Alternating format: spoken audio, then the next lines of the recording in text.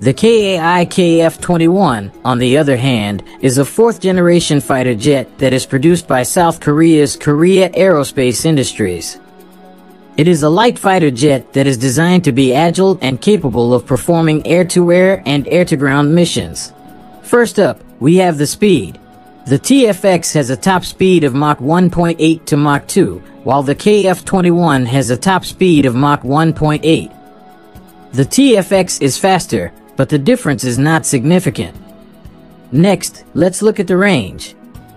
The TFX has a combat radius of 1,100 kilometers, while the KF-21 has a combat radius of 1,200 kilometers. The KF-21 has a slightly longer range, but again, the difference is not significant. The Kai KF-21's maximum takeoff weight is 25,400 kilograms, while TFX's maximum takeoff